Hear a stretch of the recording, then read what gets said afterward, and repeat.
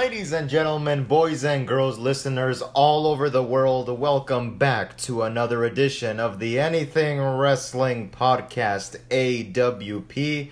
It has been a while, but we are finally back, and I'm here with the entire crew. We got a triple threat going today.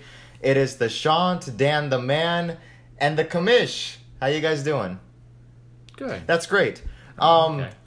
Not even an. In- what is this? well then talk. Well, I was trying to, but I was trying to be polite for him. I gave you guys a seven second silence, and you didn't say anything. Minus six. What about a five second pose? Can we at least get that? Did somebody say three seconds? Oh, good lord. So we're here. We are looking to uh, talk about a very controversial move on the WWE's part uh, from the last day or so. And I didn't even want to bring this up, but he said we don't even know the meaning of the word controversial. Don't tell him to calm down, Dan. Don't tell me to calm down. Nobody tell. Speaking. Why? Why are you so fired up today, Shant? Well, one reason is because the wrong Flair was released, and secondly, I'm just uh, I'm I'm sorry I'm gonna get a little bit emotional, but here's the thing. A little. You've been emotional don't since the car drive. the here. bear. I don't know we had a bear here. End of monologue. Um, we have been on the receiving end of a lot of releases since the beginning of 2021, roughly. I'm not even counting all the releases from last year. But I think this last, second to last release was probably the biggest release that probably struck the most controversy uh, amongst all the other people, all the guys and girls, you know, producers and referees that were released. For those of you who don't know, and I'm sure everybody does at this point, but in case if you don't, WWE or former WWE superstar Bray Wyatt has now been released from the company. There's a lot of people speculating that maybe he's going to go to AEW, maybe he's going to continue his craft elsewhere. But unfortunately, we have come to the terms of the release of Bray Wyatt. We last saw him. It was an episode of Raw. He was doing an episode of the Firefly Funhouse. He had just lost to Randy Orton. Cause witches be wildin'. I had to. I'm sorry. Mm-hmm. And so here we are. And I thought that we needed to take a moment to discuss this because I think Bray was very intelligent when it came to recreating himself, coming up with something new, turning things around. There was one moment where he was getting so much praise that people thought we have the next Undertaker on our hands. But unfortunately, as I will discuss here one by one, there were some fatal blows that were given to his career, which ultimately put him on the unemployment line. But um, Dan, if you want to get us started, uh, just give us a quick introduction of who Bray Wyatt is, where he comes from, and then we can take it from the top. All right. Sort this part out. Uh, so, Bray Wyatt, known in real life as Windham Lawrence Rotunda, uh, son of Mike Rotunda and uh, nephew of Barry and Kendall Windham. Uh, also, brother of Bo Dallas. He started out with WWE down in FCW. Um, initially as Husky Harris, um, and joined the Nexus version two. I The new. Nexus, I think Yeah. it was.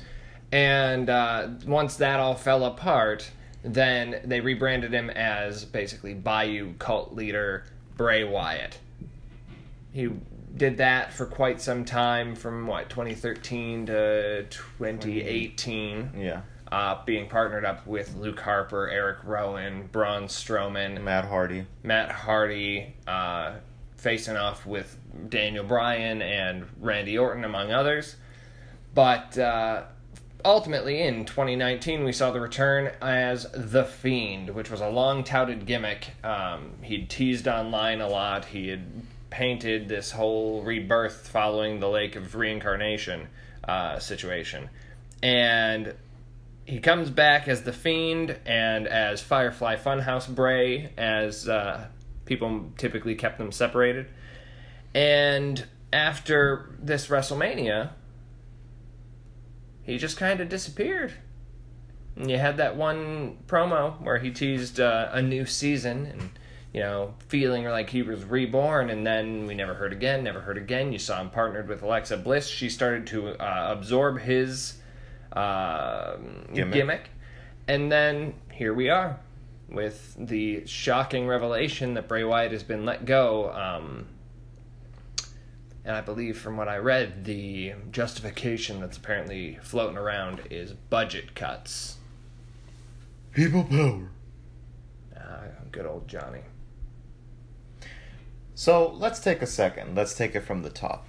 So I believe it was in uh, in FCW and in NXT where Bray Wyatt, you know, created Bray Wyatt, and he came up with this gimmick, and it was very sort of Jake Roberts esque, very soft spoken, very uh, unique and different from everybody else on the roster.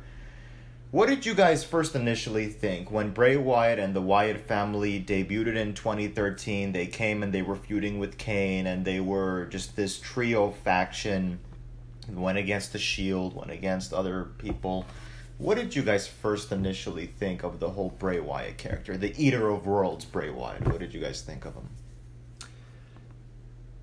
I went to a SmackDown event I remember you telling this. Yeah. with my dad uh, a, a long time ago, and it was early on in, in the Bray Wyatt introduction. he had Yeah. been showing up, he'd been cutting those promos, and you're just sitting there, and he was he was captivating. And even though so, at times he he was a little wordy or you uh, kind of may have verbose. yeah, you may have lost the like core intention. You're still Yeah. like he did the cult leader thing very well because you're still like you're hanging on his words. Yeah.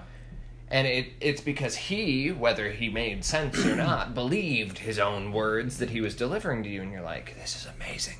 And I'm sitting next to my dad at SmackDown in uh, I think it was the Joe Louis Arena still. Um and I'm just he's up on the on the Tron and, I'm, and I turn to my dad and go, This guy is fucking amazing. And then it it became one of those things where sometimes WWE would pull a WWE and just be very slow in their build, and Yeah. so what as as wonderful as he was at cutting these promos and spinning these webs and making you invested in the emotional core of everything, sometimes you'd go four, five, six weeks in a story where that's what you're looking at and you're like, Jesus, figure it out. Which is not his fault. Yeah. He was doing what he could. Overexposure. Yeah, and uh, I then then we got the fiend stuff, and the Firefly Funhouse was like a different spin on the whole thing, and he still you, you, he has a magnetic um, charisma to him, Yeah. and it's very disappointing to fly. it's very disappointing to run to this point I'm now, sorry. where he's gone, and I'll talk a little bit more about this, but I mentioned this right before we came on air, was that it the the way that this whole thing just played out kind of says that everyone's dispensable Yes. because all they did was they went, hmm, we're just gonna take his gimmick, give it to somebody else, and then we're cool. He's gone. And it's even the same thing with Braun. Braun was like their their big guy, and apparently, Omos is like their new staple big dude. Well, I talked about that before. I was, I, I think it was you that told me where they're like they now are banking on Omos, Yeah. which is why they're like Braun, see ya, Yeah. off you go. And I'm like, Braun's been with you guys for about six years now, so you dump him, and there's this new guy, and now he's your golden goose. You're you're protecting him. They're very big on the uh, latest toy. Yeah, flavor of the month. Yeah. Commish, your initial thoughts on the first time or so that you saw the Eater of Worlds. vid- No, that's my reaction, genuinely.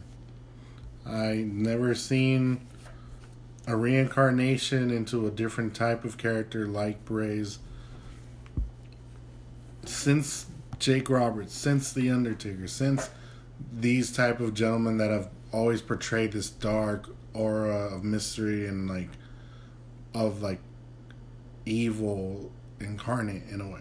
These It's kind- layered characters. Yeah, and and he found a way to not only just harness both their energies, but you can kind of see like the very early '90s type of darkness with the Undertaker, Yeah. and the very like dramatic and and and like you said, uh, very wordful uh, commentary of Jake Roberts blended into one person. And nowadays, look, when you see new superstars or wrestlers, depending on what brand you watch, you can't really invest into a character so quickly because either they captivate you immediately right from the beginning of their career or like the crowd this is boring this is boring and i think with, with bray b- before he turned into bray when he was husky harris Yeah. he was still trying to find his identity in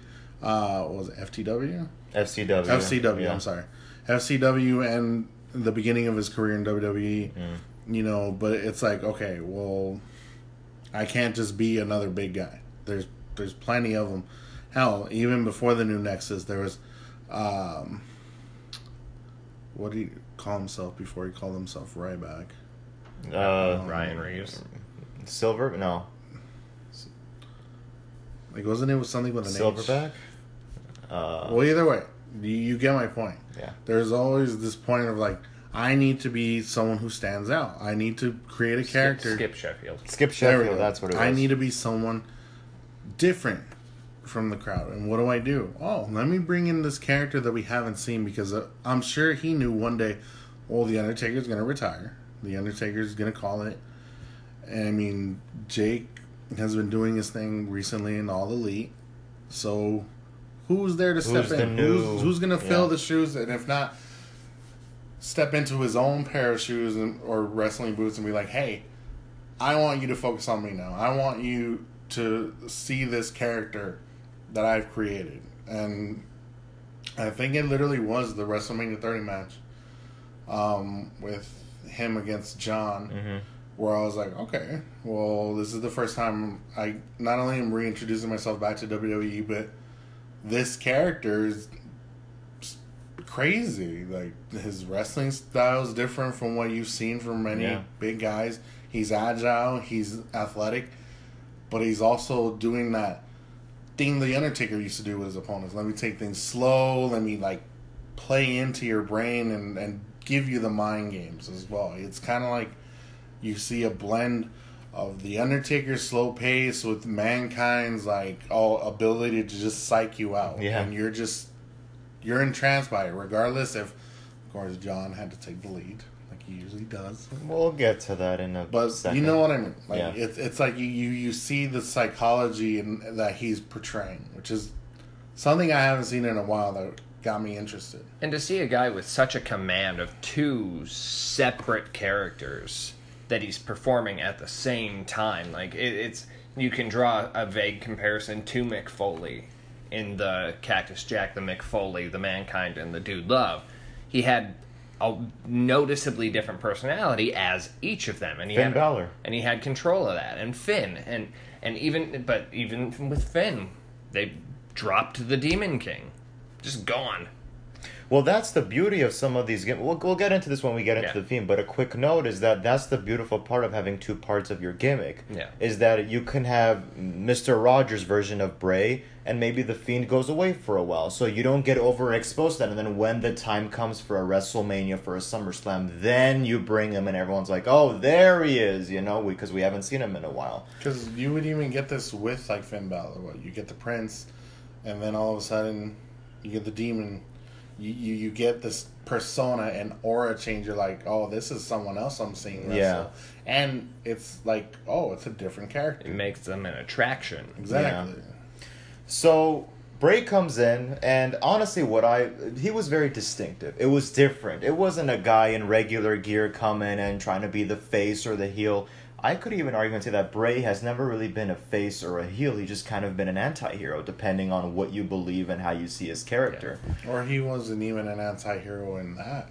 He didn't. Re- you didn't. It wasn't black and white with him. him. It was very much a gray area. Yeah.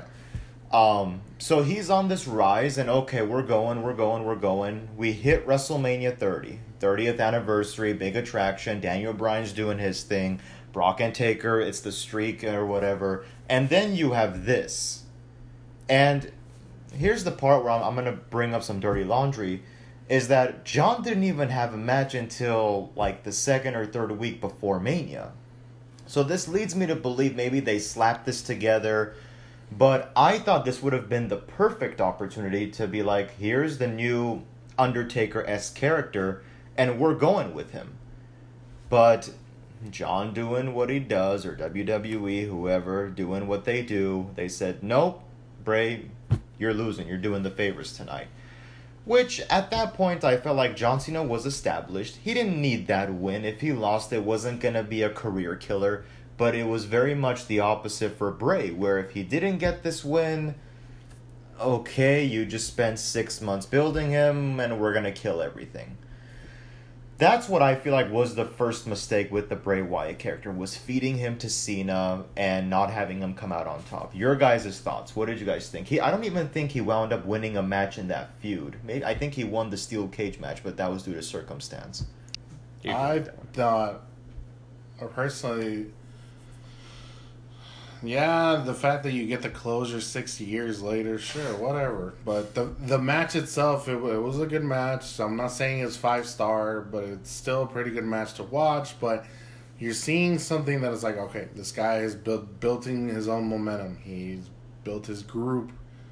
You've seen these like vignettes constantly. And you're like, this guy is finally gonna do what we've been wanting to see. Yeah. Just destroy Cena, or at least get the victory over him. And it would have been believable with a Bray Wyatt character. If it was an average superstar, you'd be like, okay, not that believable. But with Bray, it would have been very believable because he has that Undertaker esque. Hell, Yeah. you you could have still done the whole thing of what he was doing in the match, like, oh, you know, fulfill your legacy, John. You know, hit me with the chair. Yeah. Do what you have to do because this is what you really are. You could have still gone in that direction, but no. Still got to paint him as the hero that, like, oh, I can't do that anymore. I can't be that aggressive. I, I don't come from that era anymore.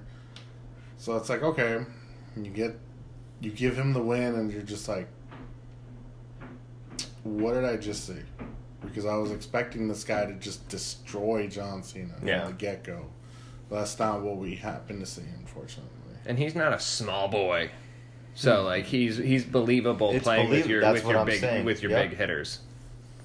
Um, yeah, I know, I agree because that that almost it almost seemed like that was the trend with him, and I know that the hero is always supposed to come out on top, but with the the 50-50 booking that WWE was always playing Yeah. with, and they're non-committal to doing anything to building anyone like shit the Aleister Black release in the middle of In that middle of that push. return um but you have him and he goes up against John he goes up against Taker he goes up against um Jericho, Jericho Bryan, Bryan uh Shield. Shield Orton all of them and it was always like the Yeah. Yep.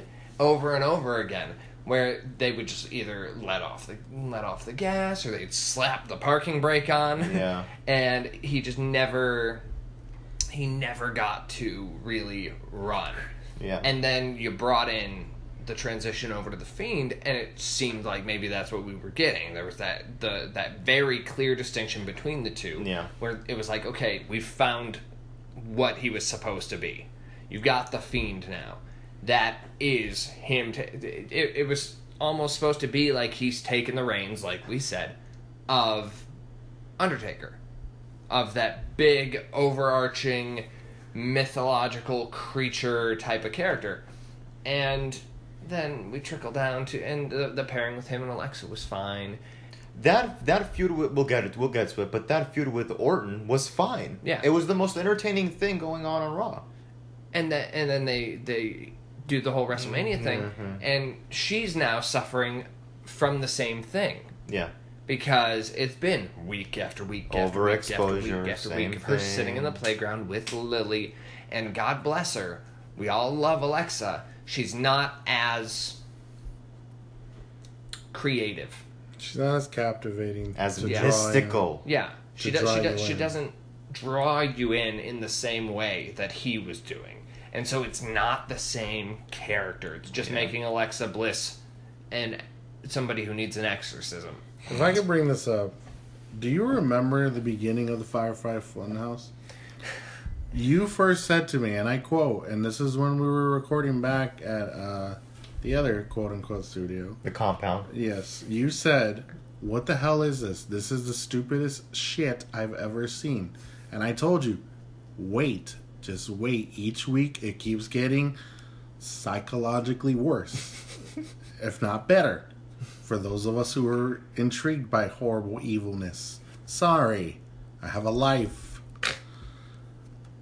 But my point Wow. being, you weren't interested at first. You thought, okay, this is the worst thing they could have done. And then when you finally started seeing those vignettes transition him into the fiend Yeah. character, you're like, holy shit, what what are they doing? This is great. This, this might be good. And at one point, when you when we all saw it together, we're just like, whoa. They finally uncuffed him. They finally told him, here's the keys to the car. We won't even step in. Go.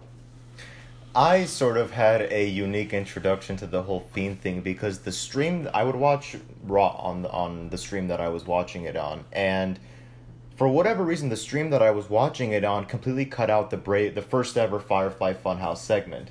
So whenever it picks back up into the arena, I see Bray Wyatt trending worldwide. Now I'm thinking, did he die? So I'm googling Bray Wyatt. And I'm like, okay. Thankfully, there is no like Bray Wyatt WWE superstar found dead or anything. I'm like, okay. So then why is he trending? Then I go back to WWE's YouTube channel. I'm like, no, don't, don't put the chainsaw through the. No, don't. Great. But the thing is, as I told him as he was doing it, I'm like, don't think of it as like he's killing it off. Think of it as something deeper. There's a deeper meaning, and there has always been a deeper meaning. With Bray, he was very good with planting seeds. He Oh, could yeah. plant a seed here. You would go six laters down the line and be like, remember him bringing that up? And it's like he can always draw back. He can always go back. he did that with the Fiend. Yep. He told the story of the Fiend years ago, and no one batted an eye years later until you saw him dressed up as the Fiend. You're like, oh my god, this is exactly what he said. So I'm gonna jump a little ahead. So after the thing with Cena, he goes into various rivalries with various superstars, and God bless him, nine times out of ten he would lose. But then I think where we got the second worst blow was that WrestleMania 32 segment with The Rock and there he is again, John Cena, where they just they essentially buried not only Bray but the entire Wyatt family. The Rock getting a six second victory over Eric Rowan, it's like okay, but why? Like we could do, uh, we you can remove that off the record books and it would not make any difference. Oh, you don't even need to have the moment.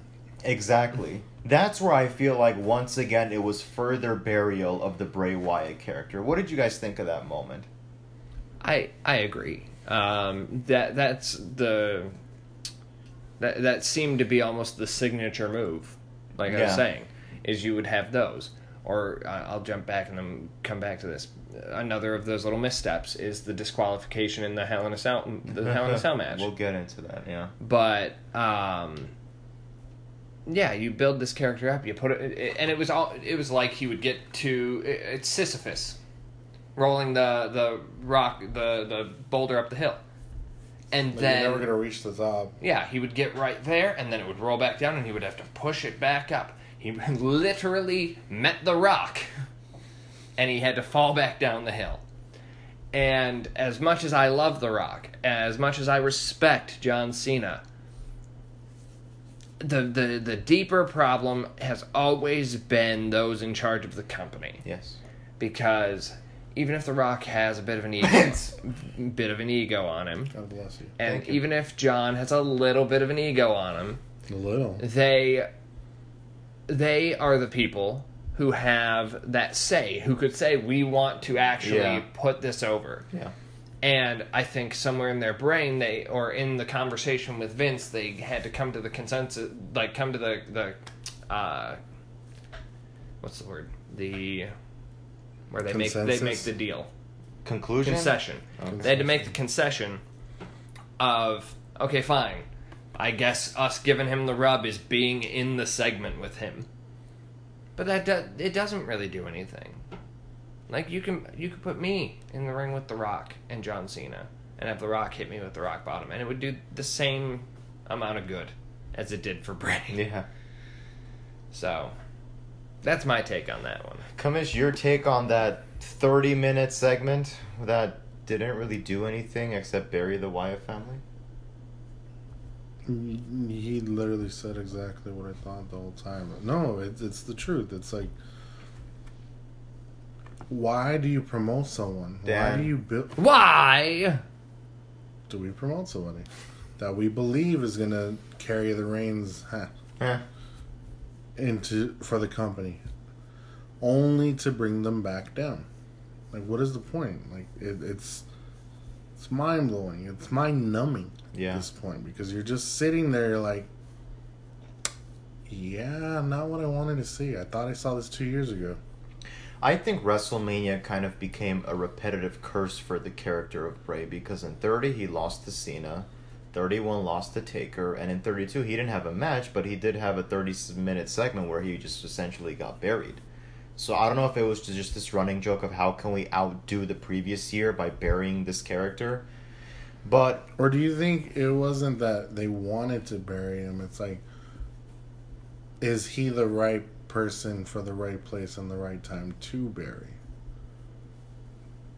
In according to Vince's eyes. Well, I mean, when you get the type of reactions that he was getting, when you get, you know, the adulation that he was getting, I- think you got to pay attention to that, you know, which I mean, obviously now they don't because, like, I don't want to disrespect anybody when I say this, but you mean to tell me that right now in the WWE, you don't have a position for Braun, you don't got a position for Bray, but you have a position for Eva Marie, who you brought back five weeks ago. I would watch Bray Wyatt go for the women's title. Let it out.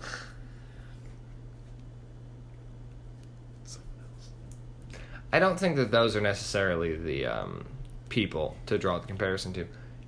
Let it out. Don't You're- hold you're- back. This is your time. You're telling me, I'll go off what you're saying. You're telling me that, and I, I, I would never want to wish these things on anybody. Yeah. But you're telling me that you've got space on your roster for Damian Priest and not for Bray Wyatt. And maybe it's a maybe maybe it's a contractual thing. Maybe Bray was too expensive for their taste. But he sold a lot of merch. He was bringing it in. He wasn't just a drain on your company. Well, that's what I'm saying is when you pay attention to fan reaction, they had that limited uh, Bray Wyatt Funhouse collectible package thing. Yeah. And they, they literally sold out. Yeah. I like I one time just for out of curiosity, I clicked on it and it said all sold out. Yeah. Within I think the first day. And it's like you have a guy who's who has that star power. You could release something for a limited time only and it sells out. Like what else what more proof do you need? So you go down the line after that horrific segment with The Rock.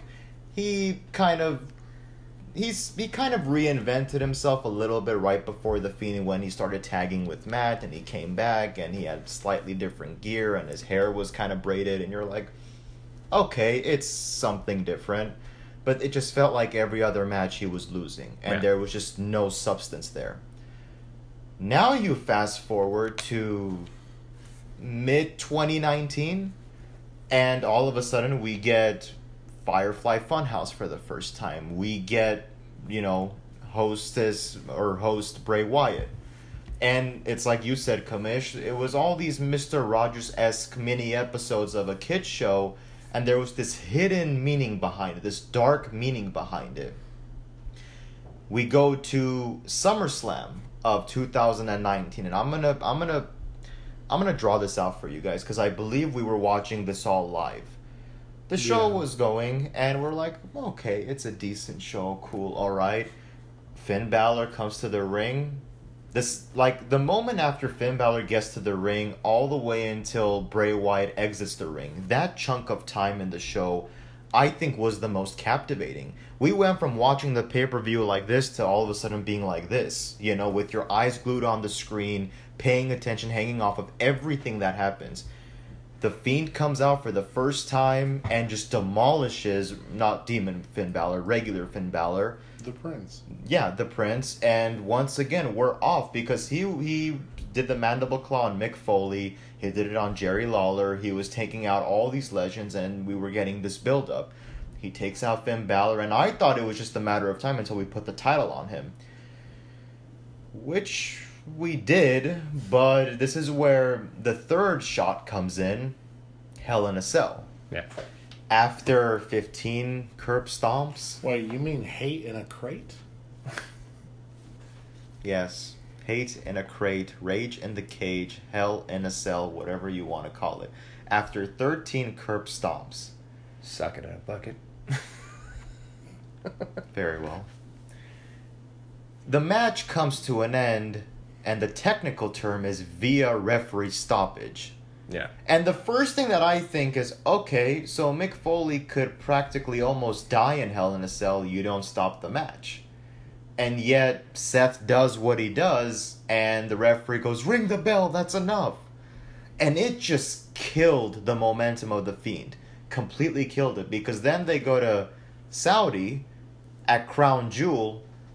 It they didn't, and I and I mean this. Didn't X Pac literally say, "How the hell do you get a disqualification Yeah. in a Yeah. hell in a cell?" Well, again, it wasn't technically disqualified. But they didn't clarify that. They didn't di- like because Seth hit the chair with the hammer. Yeah. The ref calls for the bell. They don't I thought was a announce wrench. what.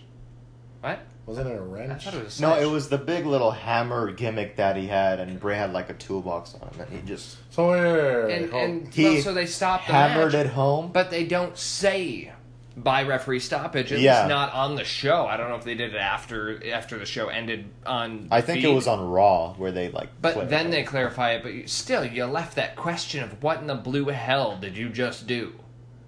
Go ahead. You can throw Mick Foley off the top, That's what I'm saying. through it, through the ring countless times. You can set Edge on fire. You can choke slam Rikishi backwards into a truck bed. You can backdrop Cactus Jack off of the cell and have him crash through the ring. That's all fine. But a hammer to the head? No, no, no, no. A hammer to a chair To a head. to the head. I guess, That that's the line apparently.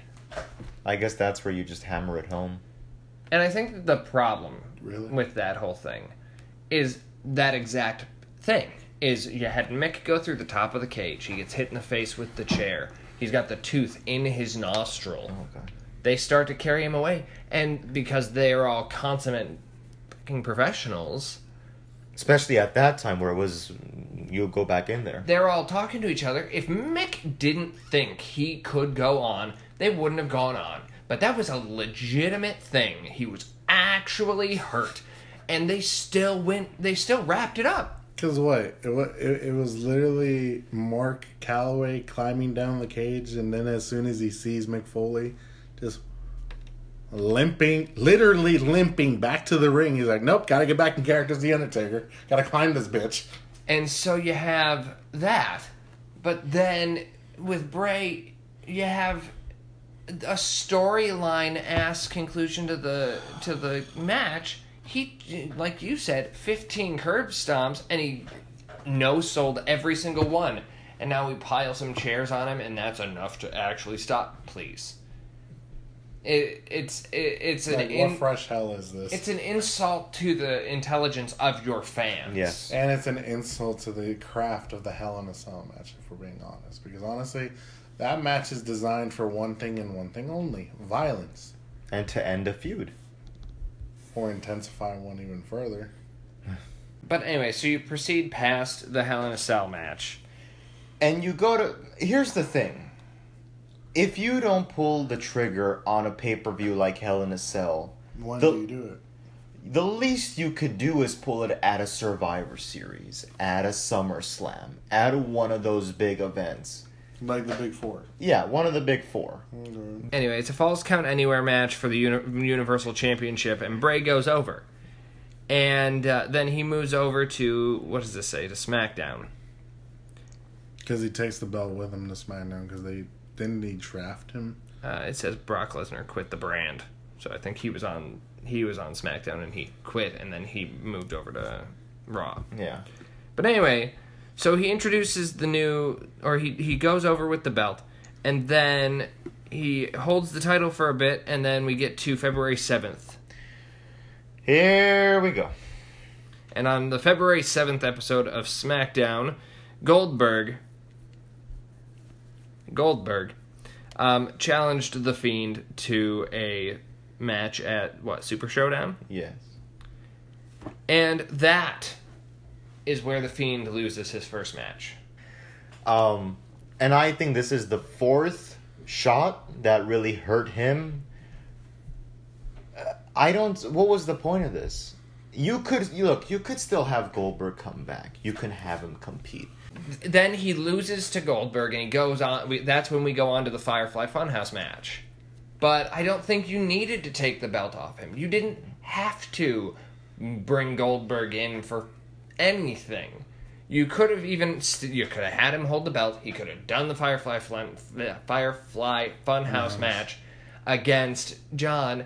You could have made it for the belt and Right, still right. done it the way that they did it. Wait, say Firefly Funhouse one more time. Firefly Funhouse. Say Firefly. Firefly Funhouse. Firefly Funhouse. Firefly Funhouse. Can you say it three times in a row? Falafel? Three times in a row. Three times in a row. Anyway, oh, For only nine ninety nine. So you have Cena lose, and he disappears for a long time, uh, and we go, oh well, this was an interesting concept, I- and then the rumors start to come up that maybe. Wyatt and Randy will fight, and that they might do the same thing. And I think people were excited about the prospect of that because you liked seeing those different layers, that uh, interpretation of different times in wrestling. And then they just said, "Eh, we're good." We even came up with conclusions that maybe uh, Jeff's Hardy's alter ego could have taken out the Fiend. yeah, Fiend and Willow. The beautiful Yes. part about the Fiend was that he would go back and take kayfabe and integrate it into the storyline. So, for example, when you look at Cena, I'm sorry. Have we seen this mysterious thing called kayfabe in a while? No. but you can see it only on Peacock Uh, for just only uh, nine ninety nine. for the- oh, Is it nine ninety nine? It is. I thought it was Oh. four ninety I thought, it, yeah, I thought it was cheaper. Okay. I don't know. I got Moving it for free forward, because we're not trying to promote them. Anyways, I got it for free because I'm c- subscribed to cable. Anyway, Isn't that nice? all you need is cable subscription. okay, we're not talking about Charlotte. Let's get back on track. But you have the Fiend. You have the Fiend versus John Cena. And remember, we all thought this was going to be the second cinematic match, and they're going to maybe do it in the ring, and then they're maybe going to have this twist. The best part of that match, it, it's 15 minutes of subtext. If you're a younger viewer of WWE, you're not. You're gonna be like, "What am I watching right now?" It's subtext with a lot of context. That's what I mean. Yeah. If you're a younger viewer, you're gonna be like, What fresh hell what, is this? Yeah. What are they? Why aren't they not fighting in the ring? I But when you go back and you watch and you see all the little sudden references and the subtext that they have and everything. And you have the thing of the NWO. You have the thing of him trying to build a new Hulk Hogan. Yeah, and the Kurt Angle ruthless aggression segment where Cena's career took off.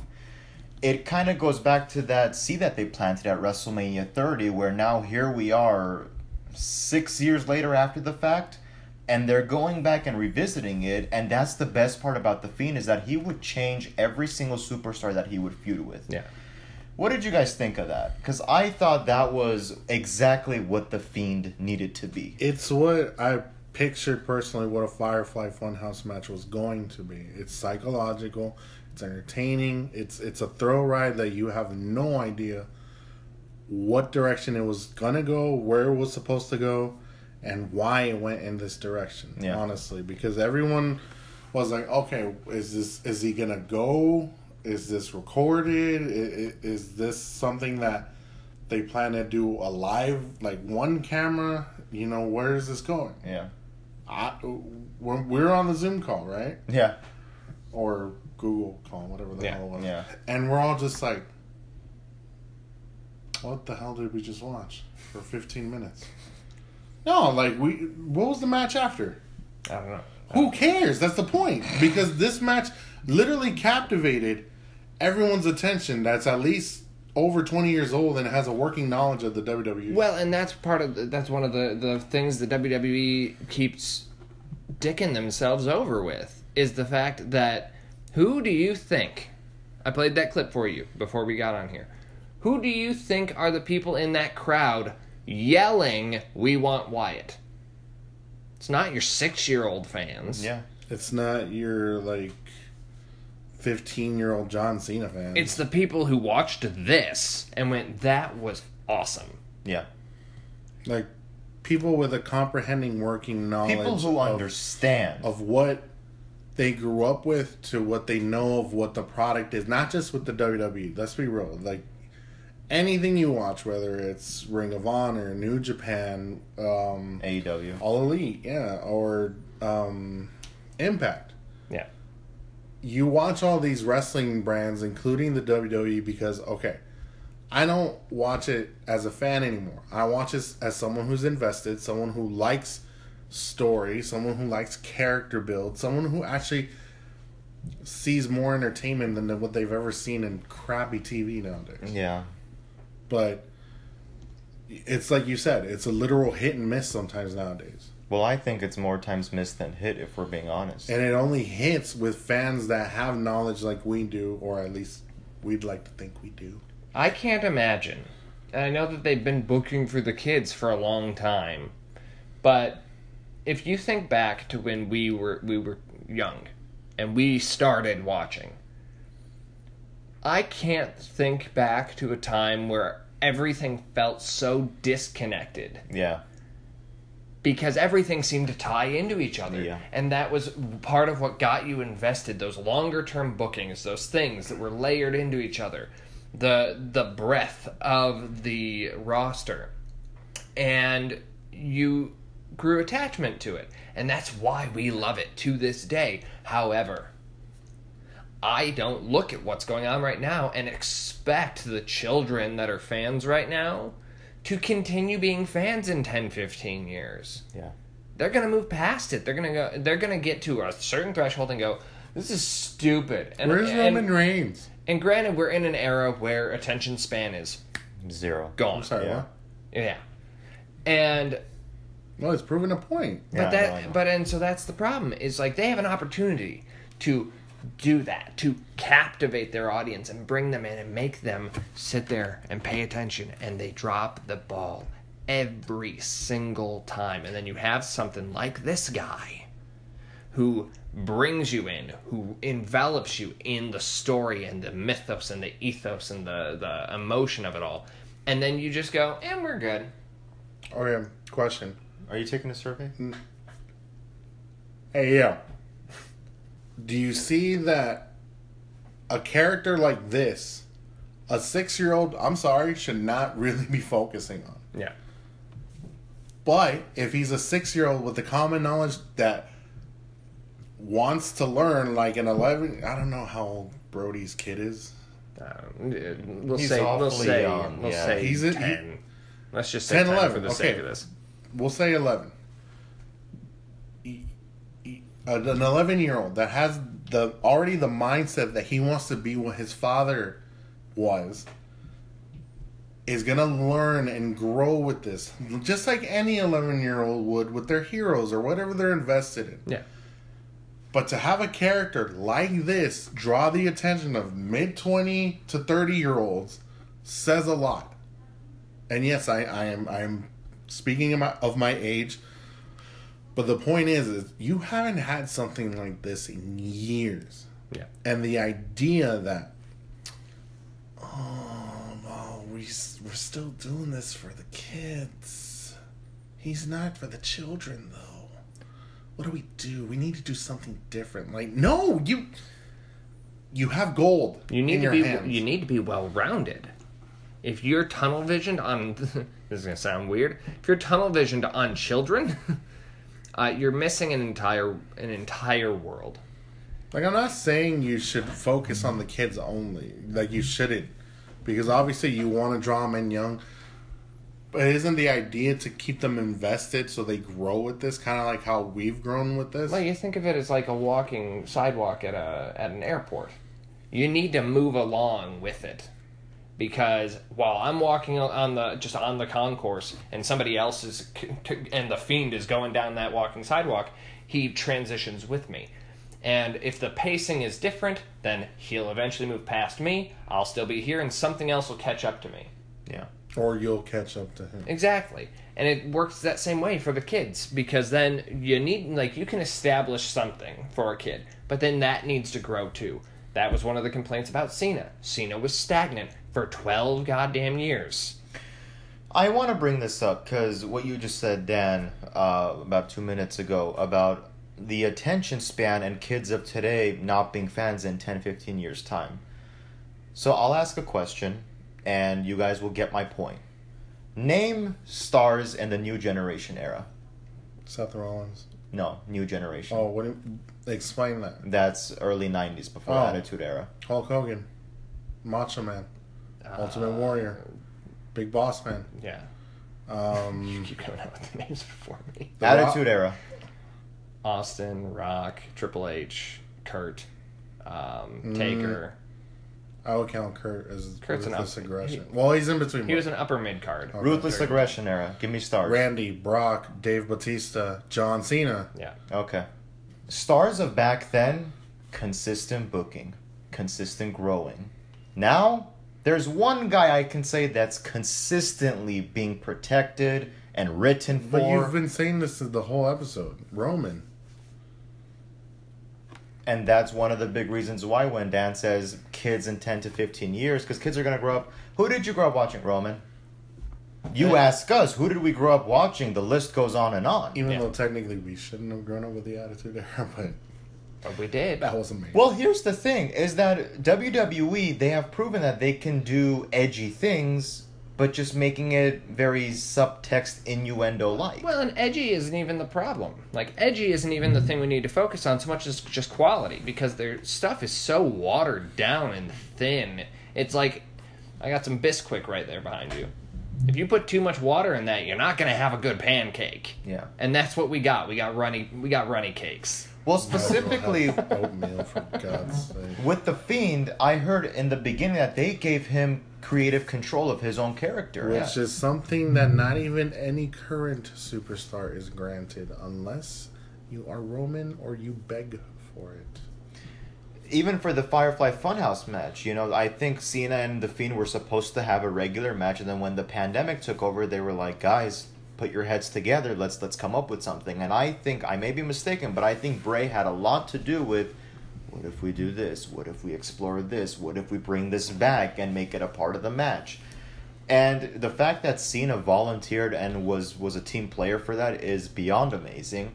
And but he, he had even been complimentary of the guy. yeah, He he saw in Bray the six same years thi- later, but this- yes. But he saw in Bray the potential and the, the, the, the depth of that character. Yeah. That you saw people like X Pac and all those people chiming in and saying, This guy's money, this dude is the future, da da da da da. And now he's not in that company anymore. And we made the vague references recently of uh, there was the thing where Vin, Vince made the comment about uh, well, I don't even see AEW as competition. Uh, I mean, I guess we could. We, Old bastard. I guess we could just try giving them more talent.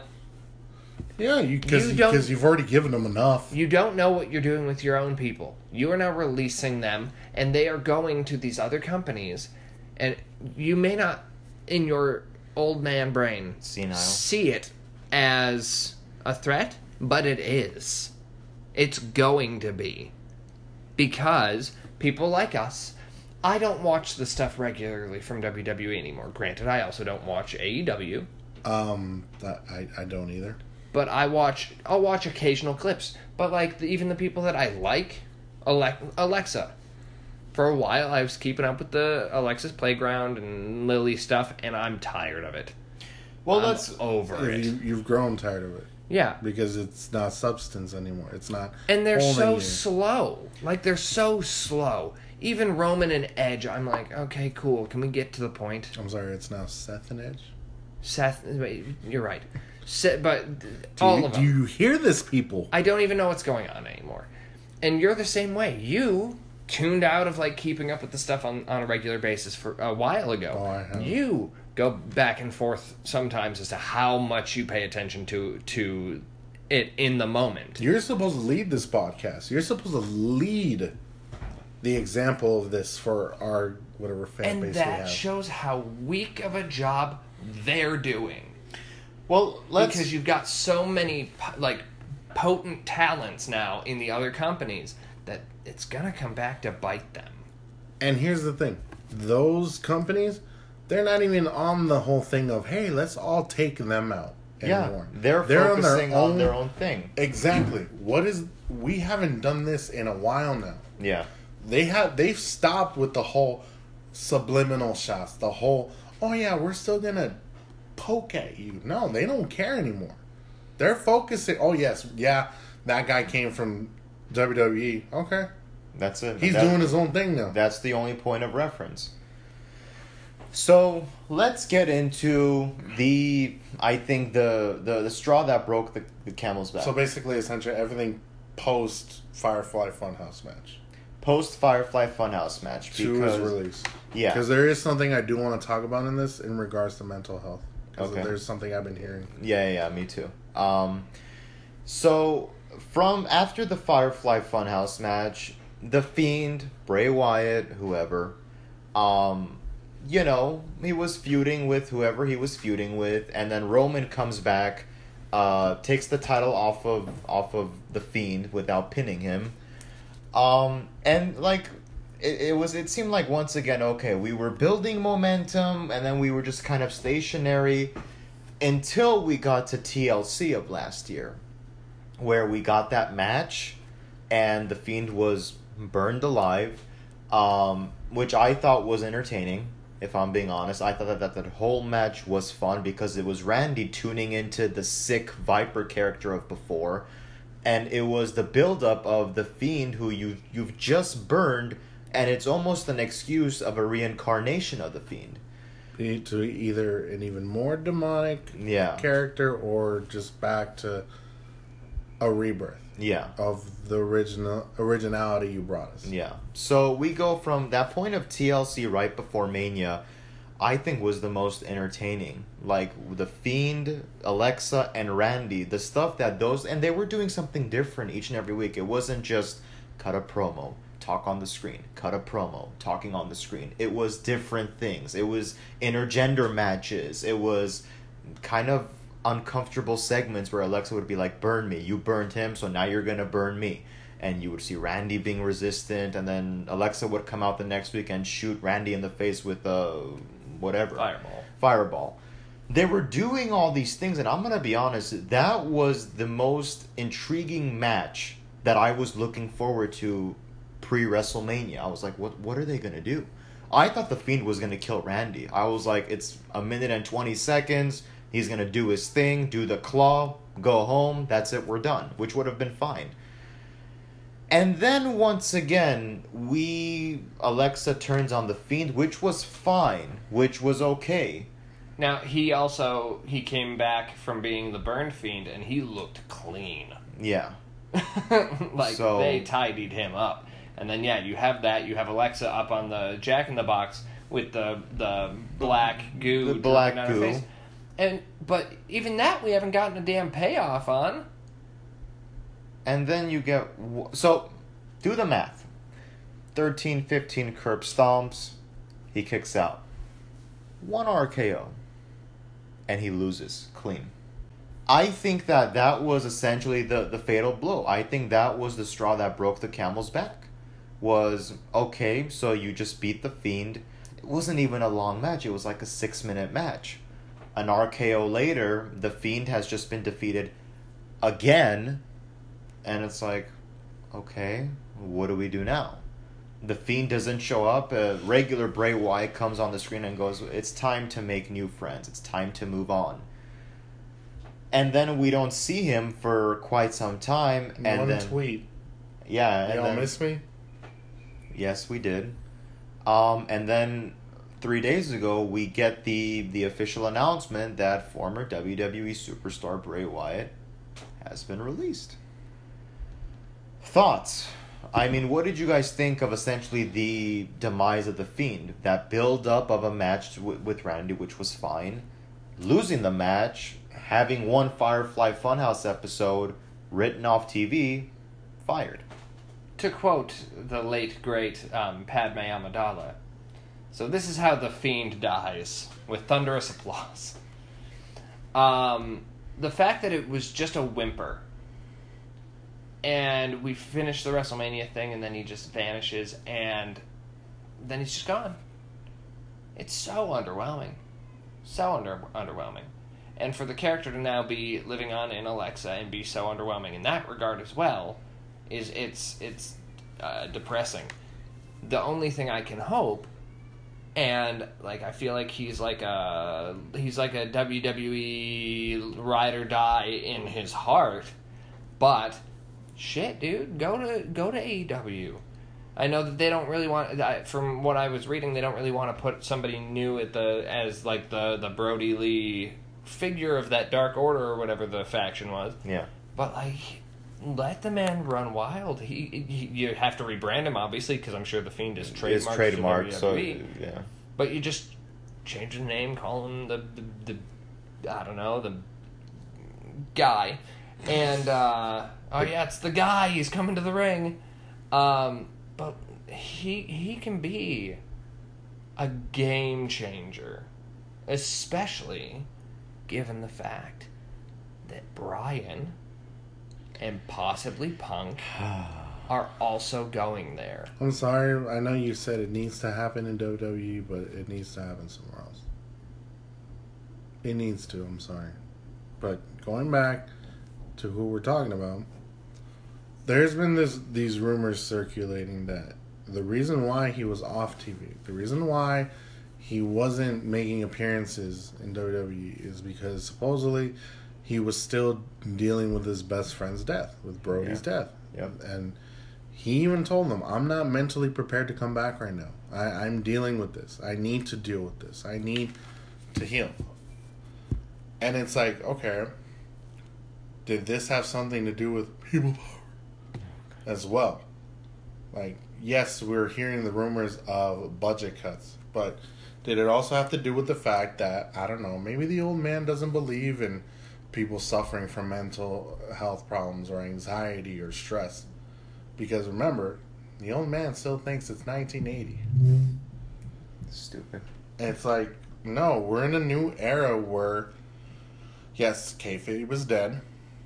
Yes, we have superstars who try their hardest to promote all their outside venues, just like any other celebrity does, because they know whatever field they're in is not always going to make them money. So they have different venture capitals to deal with. Yeah. Um, so for the fact that Bray has to is literally telling people, "Hey, I have something I need to personally deal with," and if this is a key factor of what caused the release, to me, it's like, okay, you you guys pulled a shitty move in my part, in my belief, because it's like you can't let someone grieve. These two were brothers. These two were good friends. They they worked in WWE for so long. Bray was happy that Brodie got what he wanted in the end. Uh, his release to to go venture off elsewhere into new career findings. And was Brodie succeeding in all of the? Yeah, He they put a belt on him, and they put a belt on, and the guy who is literally the EVP of their company, who had that belt for the time being, was more than happy to do the favor. This is the same guy, mind you, who at first wanted to take shots at WWE and say, hey, I'm going to create a company that's going to kick that company's ass. But the fact that he was willing to do the favor for a former WWE wrestler, or I'm sorry, superstar, is one thing. It's another that Brodie got to do it, and yes, Brodie passed away, but you can't allow his friend to grieve. You can't allow his other friends to want their release because they need to grieve. Like, it's BS. there's a generational difference too between the Vince McMahon, the Vince McMahon of the world, and the n- current era of wrestlers. You've got a lot of these guys like Cody and Kenny and uh, Nick and Bray and yeah, who and Jericho even who Yeah. is not from their time but still understands the concept that you will put out a better product and you will put on a better show if you work collaboratively Yes. if you work together to generate a creative force worth watching and worth caring about if you care about it so will the people watching Yeah. Meanwhile, Vince is like, "Yeah, let's put Eva Marie in a pair of panties and we'll slap her out on TV." Great. I, I feel I do feel a little bit bad that we poked so much fun at her, but Jesus. Um. The, but the fact of the matter is, you've got all these guys over in the other companies who want to work together. I'm not doing it. I know you want me to, but I'm not going to. Go ahead. who want to work together, want to make a good product, want to make a company that's for for the people, not the people power, just for the people. And then you've got WWE, who's so set in their damn ways, and we're constantly we're making the, that reference, going, Vince, step down, step aside, because the only way that that company is going to survive is if somebody else takes the reins, not the Roman reigns, but the reins of the company. And who do we have in mind? Is it supposed to be Triple H or Yes. Oh, It's okay. time to play the game. because I'm done playing. We need change, we need growth, and we need to put faith in these creatives to put something out because otherwise you're going to lose your fans. You're going to lose your long-term fans. You're losing them already. Well, here's the thing: is And that that's a- because of stubbornness. how many, like, how fresh can you keep a product with only one brain? You can't. You can't I'm do it for that long. brain is decaying. If you had the Bray Wyatts of the world who were more than happy to contribute and be like, yeah, I'll pitch in. I can if I can have some creative control, I can tell you where this character should go and what it should do. I'm not saying that whatever Bray says is going to be what's best for the character, but if you're if you can experiment, why not? Well, and furthermore, people are more willing to do what you want if you give them a justification for why or the end game. But the way that that company seems to be run is we're going to have Bray Wyatt lose tonight. Why? Why not? Dan, Why not? Anyway, my Pokemon now? Anyway, Are you? Wobbuffet. Wow. Um, and so you have the uh, again the other companies. They want to put together a product. They're willing to talk to each other and say, "This is why I think I need to win. This is why I'm cool giving you the win. This is why we need to build the story this way." this is why we keep a track record of who wins. This is why we have a track record to pro- push the next guy who's ready. This is why we do things this way. This is why things are changing from 1980, from 1990, from 1996, from 2000. Shall I keep going? yes. 2003, What? 2005, 2007. Oh, that was a dark year. No, we don't have to. go. 2008, 2010, 2011, 2013, Mhm. 14, 15. What? Now. What? What? You forgot 19. What? So the point is that people are stifled. They aren't given direction. The company just does stuff day to day. You got those same day script on the re- wall. script rewrites. Yeah, they're just throwing spaghetti at the wall, seeing what sticks, as opposed to planning out what you're doing and why. Are we throwing mom spaghetti? hey man, makes my knees weak. Arms are heavy too. So Anyway. I'll hand it back over to you guys because I went on a vaguely impassioned rant there. No, it's, it's fine. I welcome it's hitting, it. It's I- hitting a I- nail on the coffin if you think about it. I couldn't help but lose myself. God. Anyways, Here, I'm gonna. I brought this up one time before, and I heard this in an interview, and I heard the man say it himself. And from that point to now, I thought about it, and I said, if Vince could just think this way, the product would be a whole lot better. Backstory: When it was Hogan versus Warrior, I know WrestleMania six, one of your favorites. Hogan asked Vince and said, "Who's winning?" And Vince says, "Well, we're gonna go with Warrior." The two questions that Hogan would always ask is who who's winning and where do we go from here? That way you plan. Well, for example, in that case scenario, well, if Hogan wins, maybe we'll go this way. Well, if Warrior wins, maybe we'll go this way. And I think that you always need to have those parameters planned. Is that who's winning? Well, if person A wins, we can maybe go this way. If person B wins, we can maybe go this way. And going back to your point, Dan, I that doesn't exist now. It just feels like okay, well, yeah, second match here, mm, okay. Mm, no, no, it exists. It exists. Hell, it exists to the point that they're not only planning their next move, they plan their next five moves. It's called NXT. Yeah, I was gonna say because Hunter doesn't plan. Oh, after uh, Karrion Kross, who's gonna go next? He Let's literally- use Karrion as an example, real quick. The dude's built as your champion in NXT. He's antagonizing the leaders of that that uh, show. He is your top dog, and then you have him lose three times. Well, he was supposed to lose three times in a two row. times to main roster veterans, I believe. Yeah, he they bring him up to Raw for a couple weeks, and they keep making him lose. I think there was even a rumor that a lot of the NXT talent was like, "What are we doing?" Yes. Like, cause that that's our guy. He comes from where we come from. That's our champion. What the hell are you doing? Like, why are you burying him already? Yeah. But I will say this: the one part about the Fiend being released, and if Dan, if you could do me a favor and pull up the Mickie James tweet, because I, I want to reference that real quick. I told you guys right before we started recording was that a lot of the times WWE superstars or former WWE superstars will go, "Oh, these fans they think they know what's best. WWE knows what they're doing."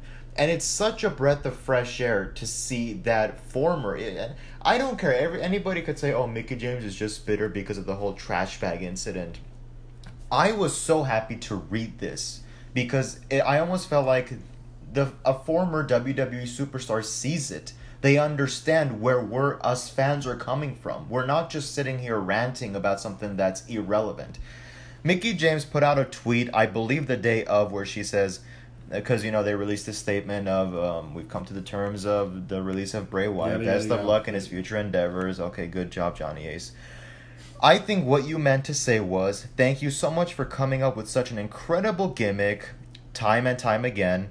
Once so cool and over, we really didn't know how to book it right. So we just gave it to someone else so we can still make all the money off of it and let you go. If someone like Mickie James, who's been released, can throw that out there and can say that, what does that say? that it's not just us fans, it's not just us outsiders who are on the outskirts of the company watching the weekly programming. It goes to show that even the people who've been on the inside of it understand how big of an impact this has. Because I will, you guys know this. I hold Undertaker in such high regard. I have for such a long time. I truly believe that Bray Wyatt was your next Undertaker S character.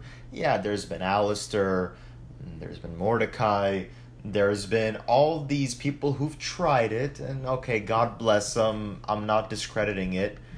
But yeah, I just, if people on the inside are expressing the same passion that we are, that you guys had, you're essentially next moneymaker. Yeah. This gimmick of the Fiend and Bray Wyatt, I think, was the most unique. God bless everybody on the roster. Everybody's got their gimmick and it's distinctive and it's different, but this one was out there. This one you can go in so many different directions. I like I said, you can have Bray Wyatt come on TV for six weeks and then you bring the Fiend out when everybody least expected. You could bounce off of that. It wasn't just one dimensional. Yeah. And the fact that you're like, budget cuts, off you go, see ya, good luck. It's like, do you do you even realize what you're doing at this point? At first, I was like, okay, again, God bless everybody, but the Sarah Logans and the Eric Rowlands, it's like, okay, lower tier talent, they're not really being used. Off you go. But Bray Wyatt, you're telling me you had nothing for Bray Wyatt? There was nowhere you can go with this character? Yeah. Hmm. Again, they don't have room for Bray, but they got room for the evolution. Well, speaking of them making room, You're doing it again. I'm just bringing up a fact. You're doing it again. Don't do drop me. Go. you're gonna get dropped out of nowhere. Would you please just go? Because the point I want to bring up is uh, a, a fascinating thing that's trending right now is um, the the strange coincidence that Randy Orton uh, just happens to be the guy who last touched at least five people before they left the company and went to AEW. Who were these five people? Those five were Matt Hardy, Mark Henry, Christian, Big Show, and Ric Flair. Um, he technically, I guess, hasn't gone yet, but he's gonna. Let's let's be real. If Bret Hart was there, even as an appearance, Ric Flair will be there. Why? Arn Anderson, Cody Rhodes. That's all the reason you need for Flair to be there. But then obviously we've got the Fiend as uh, his most recent conquest. So it'll be fascinating to see if uh, he follows the Buzzards over to AEW. Commish, your final sentiments about the Fiend. I will say this: you guys had lightning in a bottle. Yes. and you literally let it go to waste. You had possibly the greatest reinvention of a new character that I think I have not seen in such a long time. And you let it go to waste. Shame. Shame them. Shame us. Final thoughts. Final thoughts on the Fiend, Bray Wyatt. I think you said it best. It was lightning in a bottle. It was unique. You had your essentially next top heel anti-hero Character. character, Character. and you squandered it. Will we see a Samoa Joe where maybe the Fiend comes back? I don't know. If we're being honest, I I, I personally think I don't think he should go to AEW because again, the purpose of having him take over the Dark Order doesn't make sense to me. I, Yes, I you wouldn't can make him do that. You can recreate the Wyatt family if he owned the rights, but I'm I'm sure he doesn't. He doesn't. Yeah. I personally think he should just do his own thing. Even- I- it doesn't even have to be wrestling. I brought it up to you guys. I said I think Bray always knew deep down that he was gonna scratch The service. the surface, but he was never going to be placed on that pedestal. Because you look at it, every single event that I brought up today the WrestleMania match with John, the segment with The Rock, the Hell in a Cell, the Goldberg match, the match with Randy those were all moments where he's got it. No, we're going to bring him down. Six months of build up, he's got it. No, we're going to bring him and it's down. all with people who had had their time. Exactly. And those people believed in him too. Those Six years later, some of them, but yes, one of them. Which we can't see. Who? Exactly. Final thoughts? We're good. We're good. We're good. Okay. So there you go, guys. We just discussed the career, the good times, the bad times of Bray Wyatt, the Fiend, the Eater of Worlds. Uh, let us know what you guys think in the comment section below, and we will catch you all on the next episode.